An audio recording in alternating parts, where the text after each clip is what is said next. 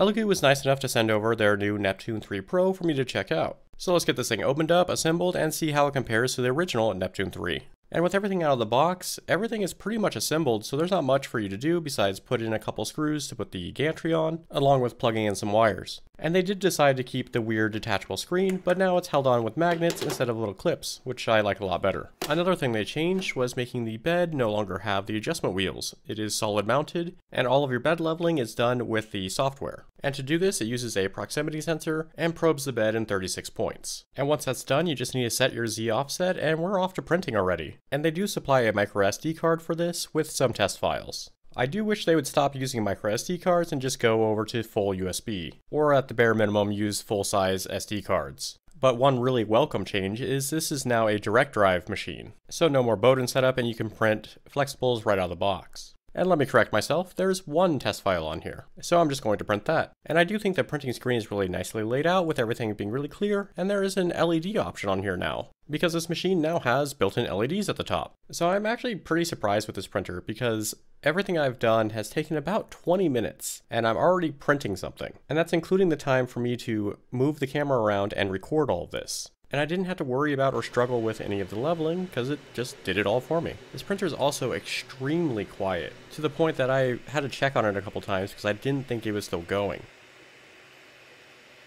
But anyways, this first print was successful, and it was really easy to get off the build plate just by flexing it. And overall, this is a very clean print for just the first one off the printer. And honestly, this PLA is very easy to print with. So let's try something a little different and new. This is some new filament that I got that is a tricolor silk PLA.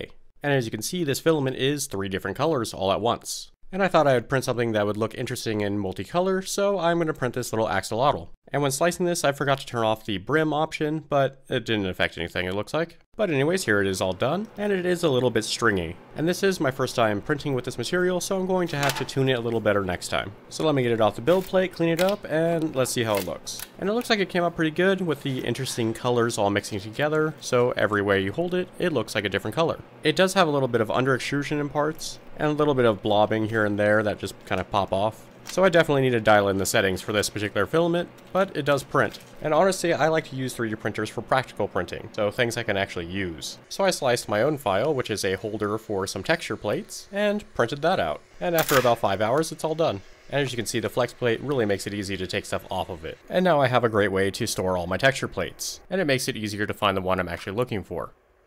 I also printed this little ring holder and display, which is perfect for if you're doing in-person events, or even for personal use if you have a ton of rings. With this being a direct drive, and being able to print flexibles, why not print some? So I designed this rubber pad for a bench block to make it easier to move around along with cutting down on the sound when hammering on it. And when printing in flexible materials, you have to go kind of slow with it, and this took a little over 7 hours to print. But as you can see, it's completely flexible and my bench block fits in it with no problem. And I don't know how well it comes across in the video, but it does cut down on the noise, at least the high pitchedness of the hammering.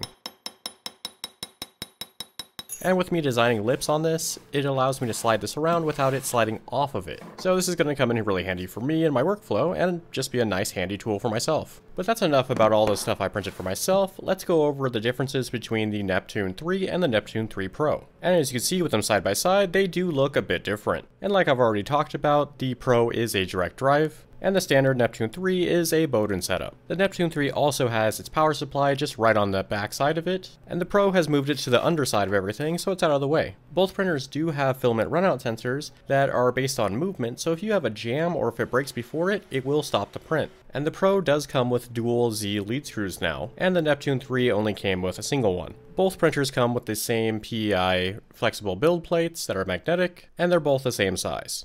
When it comes to the hot end on the Neptune 3, it's a pretty basic setup, and sadly the Bowden tube goes all the way down to the nozzle. And the auto bed leveling is done with a pressure switch. When it comes to the Pro's hot end, there's a lot more going on. Because it's direct drive, it has its stepper motor here, but it also has a dual gear extruder built in. And the auto bed leveling is done with this little sensor that doesn't need to come in contact with anything. And this hot end was looking really promising until I found this PTFE tube with the machine, because it was looking like this was going to be an all metal hot end. So I had to remove the nozzle and check, and sadly it's not. I know that they make higher temperature PTFE tube now. That has a max temp of about 260C, and this machine is rated up to 260C. So honestly, this might not be a problem whatsoever, but something to keep an eye on. I am happy that they decided to use MK8 nozzles, so you're going to have tons of options for that. Overall, this is a pretty good printer out of the box, and really easy to set up and get printing thanks to its auto bed leveling system. And as of recording this, this printer is only $230, which is really cheap for what you're getting. So let me know in the comments what you think of this printer, and if you are interested in getting one. And if you're interested in seeing more about this printer and what it can do, I highly suggest checking out my second channel, seeing that I've been using it to do some prototyping along with 3D scanning to make some car parts.